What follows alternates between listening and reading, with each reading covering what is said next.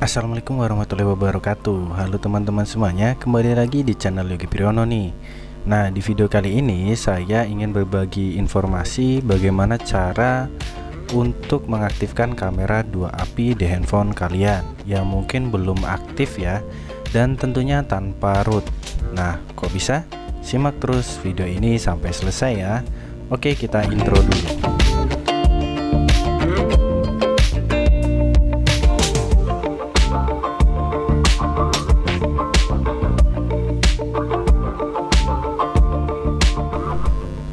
Oke, seperti biasa nih, sebelum masuk ke video intinya, di sini saya mau minta dukungannya ya.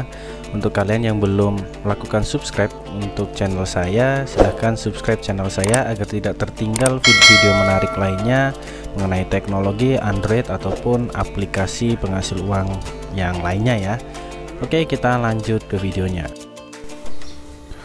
Untuk mengaktifkan kamera dua api, tentunya kalian harus mengecek dulu nih handphone kalian support kamera dua api atau tidak gitu ya. Nah, untuk aplikasi untuk mengecek apakah handphone kalian support kamera dua api itu ada dua ya. Yang pertama adalah manual kamera. Nah, manual kamera ini bisa kalian download di Play Store ya. Nah, ini aplikasinya kalian bisa cek tampilannya seperti ini ya. Ini adalah manual kamera.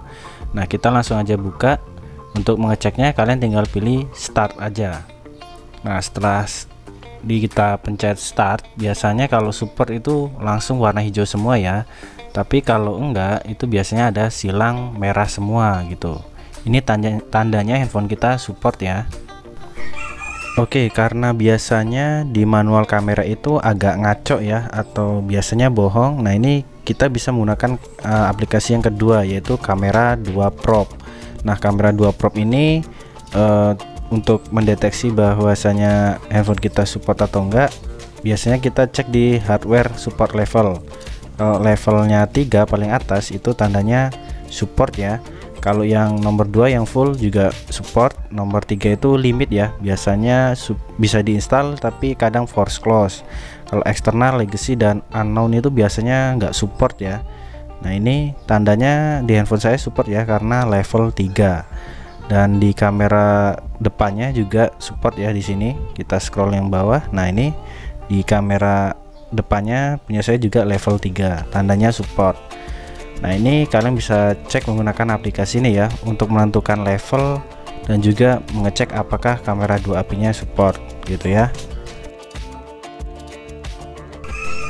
Oke setelah kalian mengetahui handphone kalian support kamera dua api atau enggak dan juga mengerti atau mengetahui level daripada kamera dua apinya sekarang kita masuk ke cara pemasangannya Oke di awal video kan saya bilang untuk cara pemasangannya ini tanpa root ya. Ya memang tanpa root tapi di sini kita menggunakan TWRP loh bang kok pakai TWRP gitu ya? Nah, sebelum banyak yang protes di sini saya mau jelasin ya bahwasanya TWRP dan root itu kan beda ya. TWRP itu sendiri kan uh, sebuah tool ya yang bergerak atau bekerja di sistem boot uh, atau biasa disebut recovery ya yang fungsinya untuk menginstal atau mengganti ROM gitu ya tanpa melakukan uh, routing gitu ya walaupun sebenarnya bisa menembus rootnya juga cuman dia bekerjanya di sistem boot gitu ya atau recovery. Nah, sedangkan root itu kan level user yang di mana dia bisa mengakses uh, sistem Android kita dengan izin root gitu ya. Tentunya tanpa sebuah bantuan alat gitu ya, langsung menggunakan aplikasi gitu. Nah, sedangkan untuk uh, eh, TWRP sendiri ini kan recovery ya, sebuah alat yang bekerja di sistem boot ya intinya seperti itulah walaupun mungkin penjelasannya kurang jelas banget ya tapi kalian bisa cari tahu sendiri intinya beda lah walaupun sebenarnya bisa masuk ke sistemnya juga gitu Oke, di sini saya mau menunjukkan bahwasanya handphone saya memang belum root ya. Di sini saya menggunakan root checker. Nah, di sini saya akan verifikasi root dan di sini bisa kalian lihat masih dalam keadaan uh, tanpa root ya atau belum root Oke, karena caranya menggunakan TWRP tentunya ada bahan atau file yang perlu kalian download. Di sini adalah bahannya flashable ya atau file zip TWRP yaitu kamera dua api enable.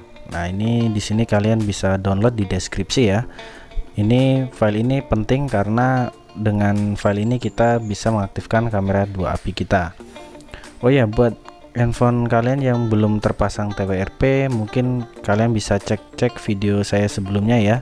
E, di channel saya itu sudah banyak tentang cara pemasangan TWRP gitu ya. Kalian bisa cek di channel saya.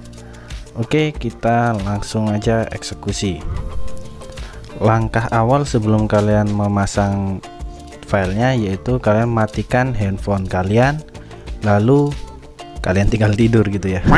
Enggak enggak e, maksudnya yaitu setelah kalian matikan handphonenya kalian masuk ke mode TWRP gitu ya.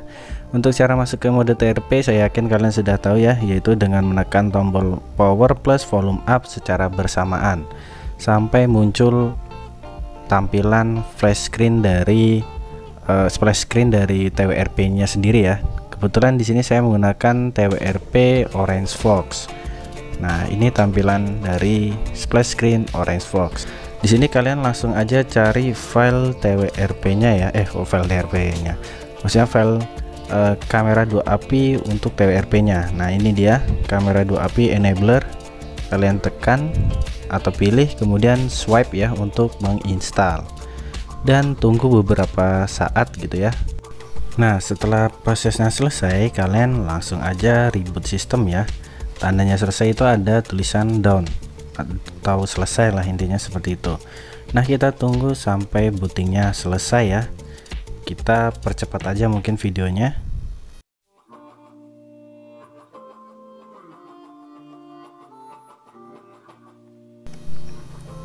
Oke, sekarang handphone saya sudah berhasil masuk ke home screen ya.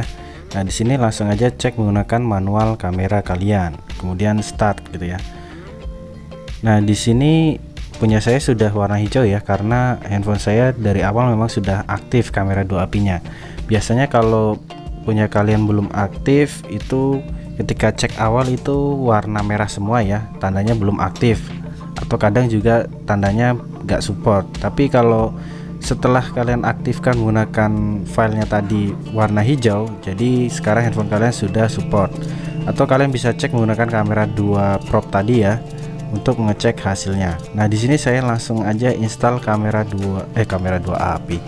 Eh, kamera Gcam nya ya. Di sini saya menggunakan Gcam dari Nikita. Nah ini kita install. Kita tunggu ya sampai uh, selesai untuk mengecek apakah support atau tidaknya. Untuk mengeceknya lebih baiknya sih langsung menggunakan uh, kamera Gcam nya ya atau Gcam kameranya agar memastikan gitu. Nggak cuman kamera dua apinya aktif gitu ya. Karena kadang ada handphone yang nggak support gitu ya. Oke kita izinkan semuanya. Nah di sini bisa kalian lihat ya support ya tidak ada crash ataupun force close. Nah ini kita coba ganti modenya juga aman. Kemudian kita ganti mode lain video ya. Di sini juga aman. Nah sekarang kita coba kameranya. Kita foto. Nah ini kita buka. Ya ini mental karena open defaultnya ya. Belum saya atur jadi saya buka langsung aja lewat galeri Nah, di sini saya buka di galeri. Harusnya pakai Google Foto ya agar bisa terbuka fotonya lewat Gcam. Nah, ini bisa kalian lihat berhasil ya, aman dan juga bisa diinstal. Oh ya, untuk uji cobanya di sini saya menggunakan Redmi Note 4 ya dan berhasil. Buat kalian yang ada masalah bisa tulis di kolom komentar. Oke, sampai jumpa.